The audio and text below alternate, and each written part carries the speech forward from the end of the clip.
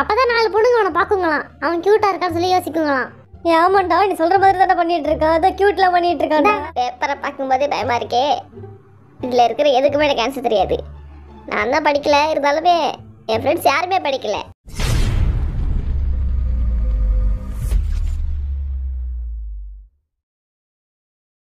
வண்டு Murugan RM Kaippulla Jin Thigil Pandi J Hope Soona Paana வே. Allot Arumugam Jimin snake Babu Suga Nesamani Jungkook.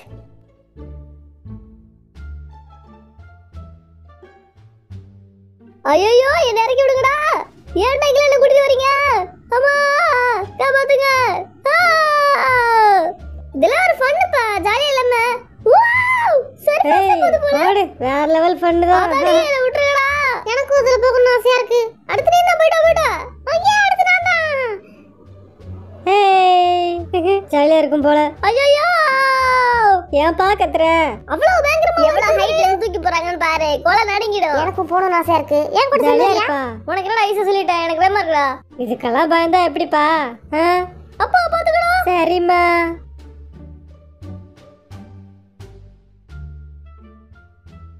வெளியே போனதுல ride ஃபுல்லா enjoy பண்ணி நீ மட்டும்தான். போயிட்டு வந்து செம்ம கலப்பில தூங்கிட்டு இருக்கான் போல. விடு விடு தூங்கிட்டு தூங்கட்டும் ஓகே மேடம் அது பண்ணல.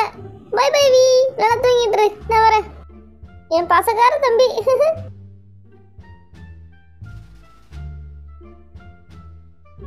எங்க ஸ்கூல்ல ஸ்போர்ட்ஸ் டே பிராக்டிஸ் நடக்குதுப்பா. நேத்துல இருந்து நடக்க ஆரம்பிச்சிச்சுப்பா. இன்னைக்கு தான் சொல்றேன் உங்கள்ட்ட.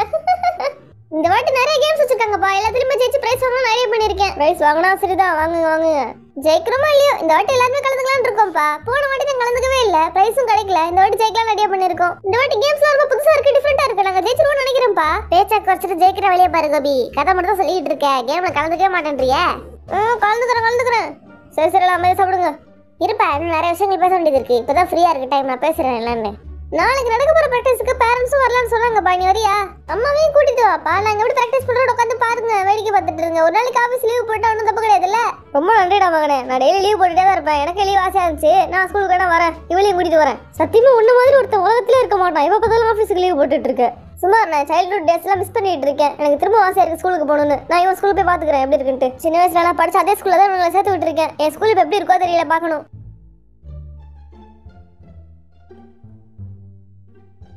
என்னடா அது இன்னைக்கே பார்க்க ஸ்போர்ட்ஸ் டே மாதிரி இருக்கு. அதான் எனக்கும் தெரியல.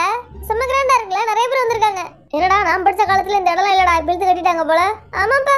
அப்பா என் திறமைய பாருங்களேன். என்னடா உன் திறமை? இதோ எப்படி பண்றேன் மட்டும் பாருங்க. டேய் மானத்தை வாங்கிறாதறாங்க நீ மட்டும் இல்ல மத்த பேரண்ட்ஸ் இருக்காங்க விடு. இருக்காங்க ஜேகே நீயாச்சும் பாக்குறியாடா? என்னடா உனக்கு திறமை? பாரு. பாரு பாருன்ற பொசிஷன் பாக்குற செய்ய மாட்டேன்ற. இருடா பண்றேன் ரெடி ஆயிக்கிறேன் சரி பண்ணு பண்ணு. ஐயோ வர மாட்டேங்குதே பண்ணி தொலைடா மண்புழு. ஐயோ இவனை வச்சுக்கிட்டு என்ன சிரிக்கிற? அது பண்றது எவ்வளவு கஷ்டம் தெரியுமா? ஓ புள்ள எவ்வளவு கஷ்டப்பட்டு பண்ணுது. நல்லா இருந்துச்சா? ஆ சூப்பரா ஓகே. என்னடா நீ எவ்வளவு நேரம் இங்கே உட்காந்துருக்கிறது இருப்பா கைத்தாப்புல பாரு. நிறைய பேர் இதை பண்ணிட்டு இருக்காங்க. அவங்க முடிச்சதுக்கு அப்புறம் தான் அடுத்து நம்ம. நீங்களா என்ன டீம்டா ப்ளூ டீம்பா உங்க டீம் தான் ஜெயிச்சிச்சுன்னு கேள்விப்பட்டேன். நான் படிச்ச காலத்துல ப்ளூ டீம்ல ஒழுங்கா விளையாடாது. ஆனா நீங்க வேற நல்லா பண்ணிட்டீங்க போல. ஆமாப்பா. என்னடா செய்க காமிக்கிற? அங்க வந்து உட்காரணுமா? உனக்கு மேட்சர் இருக்கு ஃபஸ்ட்டு முடி. என்னடா சிரிக்கிறான் பதில சொல்ல மாட்டான்? என்னடா பகவான் ஆயிட்டோம் டேய் அங்க போற அவனுக்கு அரிக்குது போல சுரிஞ்சுக்கிட்டு இருக்கான். எவ்வளோ நான் இங்கேயே பார்த்துட்டு இருப்பான்? அவனை மேட்ச் கூப்பிடவே மாட்டாங்க ஒருவேளை எலிமினேட் ஆகி உட்காந்துருக்கானோ சரி எதுக்கு இப்போ அமைதியாக உட்காரமா ஏதோ ஆக்ஷன் பண்ணிக்கிட்டே இருக்கான்? அப்பதான் நாலு பொண்ணுங்க அவனை பாக்குங்களாம் அவன் கியூட்டா இருக்கான்னு சொல்லி யோசிக்குங்களாம். ஆமாண்டா நீ சொல்ற மாதிரி தானே பண்ணிட்டு இருக்கான் ஏதோ கியூட்லாம் பண்ணிட்டு இருக்கான்டா நான் சொன்னேன்ல. அங்க பாரு ஃப்ளைங் கிஸ் தரான்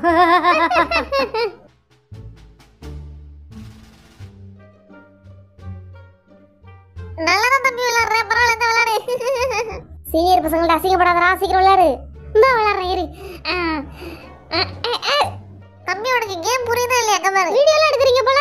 ஆமா ஆமா ஒரு ஞாபகார்த்தமா இந்த ஸ்போர்ட்ஸ் டேக்கு நாங்க எடுத்திருக்கோம் வீடியோ. எப்போ வேணா எடுத்து பார்க்கலாம். உனக்கு வீடியோ அனுப்புறேன். சென்ட் பண்றேன் வாட்ஸ்அப்ல ஸ்போர்ட்ஸ் டே ப்ராக்டிஸ் ரொம்ப பொறுமையா போய்கிட்டு இருக்கு. அம்மா அப்பாலாம் வந்திருக்காங்க வேற. அவங்க டயர்டா இருக்குன்னு சொல்லிட்டு போய் சாப்பிட போயிருக்காங்க. ஸ்கூல்ல சாப்பாடு போடுறாங்க. சாப்பாடெல்லாம் ஒரு நாள் கொஞ்சம் நம்ம ஸ்கூலை பத்தி நமக்கு தானே தெரியும். சும்மா பேரண்ட்ஸை கவர் பண்றதுக்கு தராங்க ஆமா ஆமா. இவனுங்க வாங்குற ஃபீஸுக்கு இந்த சாப்பாடெல்லாம் ஈடு ஆகாது. ஆமா ஆமா. கரெக்டா சொல்ற தம்பி. எங்க உங்க அம்மா அப்பாலாம்? அங்க உட்கார்ந்துருக்காங்கண்ணே. உங்க அம்மா அப்பாங்க அம்மா அவங்க உட்கார்ந்துருக்காங்க. தம்பி ப்ளூ டீம் கேப்டன் நான் ரெட் டீம் ஆ அப்படியாண்ணே. ஆமா என்ன பண்றீங்க? இந்த கேமரா வச்சு முட்டு கொடுக்குறேன். ஆ இப்போ நிக்கும் பாருங்க ஸ்டெடியா கேமரா பரவாயில்லையே உனக்கு ஊழல் நிறைய இருக்கு. என்னென்ன இதுலலாம் என்ன இருக்கு? இது கிடையாது அது. இல்ல கேமரா வச்சே கேமராக்கு முட்டு கொடுக்குறீங்க அதான் சொன்னப்பா ஓஹோ. அடுத்த வருஷம் நாங்களாம் பேர் உங்களெல்லாம் மறந்துடாதீங்க தம்பி சீரியஸ் நாங்க. பேர் பதிக்கிற அளவுக்கு வேற சம்பவம்லாம் பண்ணிருக்கோம். அதெல்லாம் நீங்க எங்களை மறக்க மாட்டீங்கன்னு நினைக்கிறேன். இவனுங்க பக்கத்து கிளாஸ் தான் அடிக்கடி சொல்லிருக்கலாம் சொன்னதே கிடையாது இது வரைக்கும் மறந்துடான்னு நினைக்கிறேன். நான் சொல்லிருக்கேன் ஆமா தம்பி ஜிம் நீங்க பக்கத்து கிளாஸ் தான். அப்படியாண்ணே சரி சரி. இன்னும் நிறைய பேர்ட்ட பேசிட்டு கிளம்பலாம்னு இருக்கோம் ஓகே பார்த்து போயிட்டு வாங்க. ஓகே உங்களை மாதிரி இன்னும் நிறைய பேர் நாங்க வீடியோ எடுத்து மெமரியா வச்சுப்போம். அவ்வளவுதான் வீடியோ தேவைப்படும் பை பை பை சரி பார்த்து போயிட்டு வாங்க.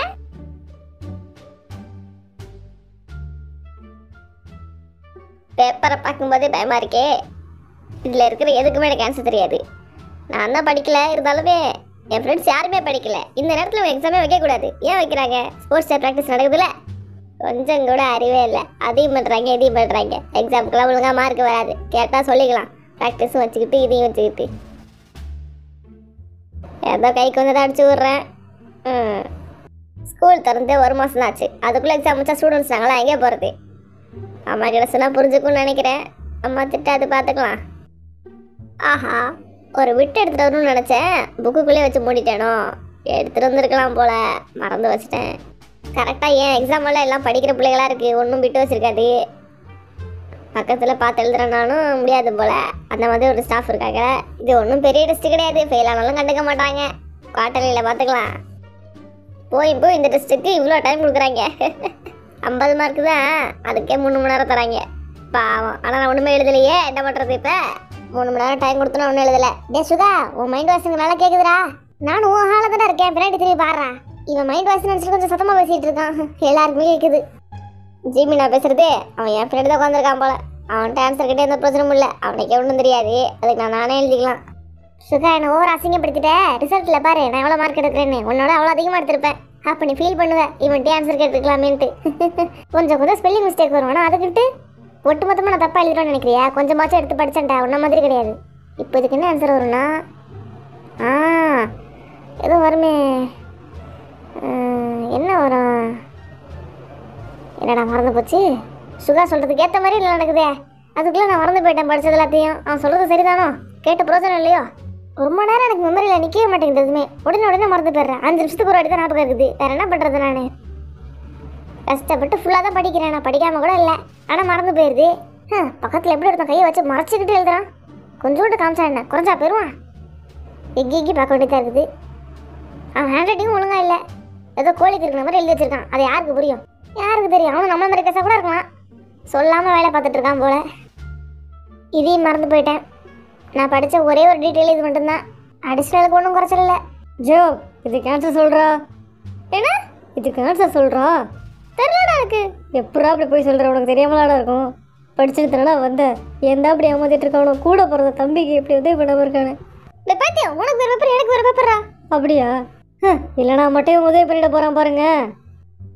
கேட்டனக்காரன் டே உனக்கு அவ்வளோதான் தெரியாது? முடிஞ்சா அப்போதைக்கு ஆன்சர் பண்ணு. என்ன கொஸ்டினே தெரியலடா. படித்து சொல்கிறேன் காசு என்ன இது? இதுக்கு தான் படித்து பழகணுமோ? தமிழ் படிக்க தெரியல வெக்கமா இல்லை உனக்கு? ஐயோ இவன் அசிங்கப்படுத்திட்டே இருக்கான். எப்படி சொல்கிறது உனக்கு? இதை படிக்க கொஞ்சம் கஷ்டமாக இருக்குடா. ரொம்ப தூய தமிழில் இருக்கு. சாதா தமிழ் மட்டும் உனக்கு வந்துருமா? இது என்னமோ உண்மைதான் நான் இல்லைன்னு சொல்லலை. இதுக்கு தான் அப்பவே படிச்சு பழக்க பழக்கன்னு சொல்லிட்டே இருந்தேன். என்ன வாய் ரொம்ப திக்குது? இல்லை இந்த வார்த்தைகள் தான் ரொம்ப கஷ்டமாக இருக்கா? இதுக்கு முன்னாடி கேள்விப்படாத வார்த்தைகளாக இருக்கு. என்ன சார் வேற என்னைய பார்த்துட்டு இருக்காரு நான் பேசுனதை பார்த்துட்டாரோ? சரி கண்டினியூ பண்ணுவோம். டேய் கோபி.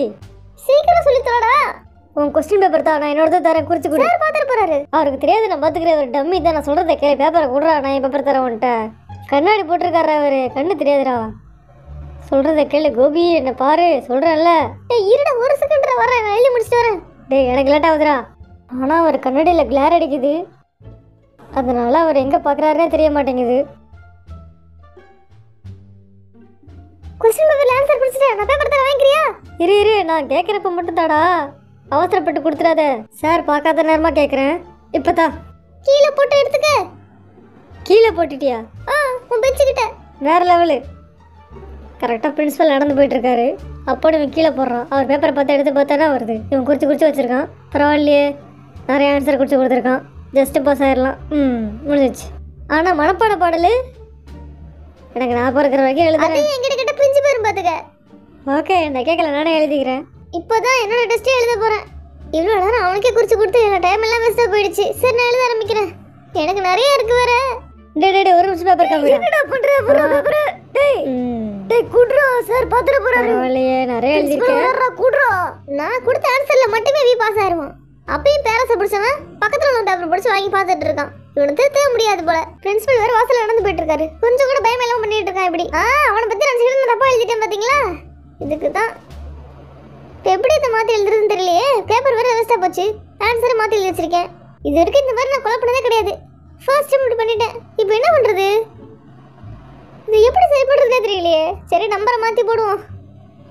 ஓகே டைம் வேற கம்மியாக இருக்குன்னு நிறைய எழுதணுமே என்ன பண்ணுறது ஷோ எனக்கு மண்டையை பிச்சுக்கலாம் போல இருக்கு. இதுலயே நான் பாதி மறந்துட்டேனே இப்போ என்ன பண்ணுறது ஐயோ ஐயோ. என்னடா எதுவுமே புரியல நான் படித்த மாதிரியே இல்லை. பொதுவாக இந்த டைலாக்லாம் வீதா சொல்லுவான் இந்த வாட்டி நான் சொல்கிறேன் எனக்கு எப்படி ஒரு நிலைமையா? அடைச்சா. வேற என்ன பண்ண எடுத்து விட்டு கொடுக்க வேண்டியதுதான். இது ஒன்றும் பெரிய எக்ஸாம் இல்லையா சும்மா டெஸ்ட் மாதிரி தானே? குவார்டர்லியில் பார்த்துக்கலாம். அப்பயும் நம்ம ஃபுல் மார்க் எடுப்போம்னு டீச்சர்ஸ் நினச்சிட்டு இருக்காங்க கம்மியாயிடுச்சுன்னா அவங்க என்ன சொல்லுவாங்கன்னு தெரியல எனக்கு. என்ன சொல்லுவாங்களோ? அம்மா அப்பா கூட பிரச்சனை கிடையாது. டீச்சர்ஸ் தான் தொல்லை தாங்க முடியலப்பா. என்ன பண்ணுறது சரி ஓகே ஒன்றா எழுதி வச்சுருக்கேன். அவங்க மார்க் போட்டால் உண்டு. இதுக்கு ஆக்சுவலி அவங்க மார்க் போட்டு தான் ஆகணும். போடுற அளவுக்கு தான் எழுதியிருக்கேன். எல்லாமே கரெக்டாக தான் எழுதியிருக்கேன். ஆனால் ஓனாக எழுதியிருக்கேன். புக்கில் இருக்கிற பாயிண்ட் தான் நானும் போட்டிருக்கேன். அவங்க மார்க் போட்டே ஆகணும் இதுக்கு. மார்க் போடலன்னா பிரச்சனை பண்ணி விட்டுருவேன். அட கடவுளே இதுக்கு என்ன ஆன்சரு ஆ படிச்சே நான் மறந்து போயிட்டேன். ஐயோ ஐயோ. என்னடா அது படிச்சதெல்லாம் மறந்து போயிடுச்சு அதுக்குள்ள? சொல்ல போனால் இதெல்லாம் நான் ஒரு எக்ஸாமாவே மதிக்கிறது இல்ல. ஸ்கூலில் வைக்கிற எக்ஸாம்லாம் கண்டுக்கவே மாட்டேன். கவர்மெண்ட்லேருந்து பேப்பர் இருந்தால் மட்டும்தான் பாக்குறது இதுக்கெல்லாம் மார்க் எப்படி போனால் என்ன? ஒன்றும் புரியவும் இல்லை. நான் படித்தாதானே ஒரு மாதம் தான் கொடுத்தாங்க. ஆனால் ஒரு யூனிட்டே ஒரு மாதம் தான் கொடுத்தாங்க. சரி. என்ன எழுதலாம் அதுக்கு? சரி இதை சொல்லி வைப்போம். கதையை எழுதி வைப்போம் பேப்பரை சைன் போடுறப்ப அழுத்து போய் அவரே ஒழுங்காக செக் பண்ணாமல் டிக்கு போட்டு போயிடுவார். ஏதோ பெருசாக எழுதியிருக்கு அப்படின்னு நினச்சிக்கிட்டு. நான் இப்போ தான் படிக்காமல் இருக்கேன். ஆனால் கண்டிப்பாக பெரிய எக்ஸாமில் படிச்சிருவேன். நல்ல மார்க் எடுத்துருவேன். அம்மாவா கிட்ட நல்ல பேர் வாங்குவேன். என்னடா அது எதுக்குமே அடிச்சு தெரியல? இது படிச்ச கொஸ்டின் அது ஒன்று தேய்ச்சி எழுதிடுறேன் என்ன அதுக்கு ஒரு ரெண்டு மார்க் தான் கிடைக்கும். ஆ. சரி. ரெண்டு மார்க் ஏன் விடணும். எழுதி வச்சிருவோம். சும்மா ஆன்சரை ஆனால் அந்த ரெண்டு மார்க்குமே நிறைய ஸ்பெல்லிங் மிஸ்டேக் வருது. இது ஒன்றரை மார்க்கா ஒரு மார்க் தான் வரும் போல அதுக்கு. இது ஒரு அரை அது ஒரு ஒன்று ரெண்டு? என்ன இது? இந்த மாதிரியே மார்க் வந்துக்கிட்டு இருக்கு. இன்னைக்கு நான் பாஸ் ஆன மாதிரி தான். ஃபெயிலிங் கன்ஃபார்ம் பண்ணிட்டேன். பரவாயில்ல இருக்கட்டும். சரி நான் அதுக்குள்ளே எக்ஸாம் முடிச்சிட்டேன். இன்னும் நிறைய நேரம் பாக்கி இருக்கு. என்ன பண்ணலாம் அந்த நேரம் ஃபுல்லாக உட்காந்து சரி ஏதாச்சும் பாட்டு பாடிட்டு இருப்போம். அப்படியே டயத்தை ஓட்டிடலாம். சார் நான் எக்ஸாம் முடிச்சிட்டேன். நம்பர்லாம் கரெக்டாக போட்டிருக்கேன்னு செக் பண்ணேன் இது ஒன்று தான் டெய்லி சொல்லிட்டே இருப்பாரு இது ஏடி இலாக்கு மாற்றவே மாட்டாங்க டீச்சர்ஸ் யாருமே. நாங்கள் செக் பண்ணிட்டு தான் தரோம். ஹம். அடா இது என்ன மொட்டையாக இருக்குது கொஸ்டின் நம்பர் போடவே இல்லை. அவர் சொன்னது சரியாக போச்சு. நான் தான் சரியாக பண்ணல. ஓகே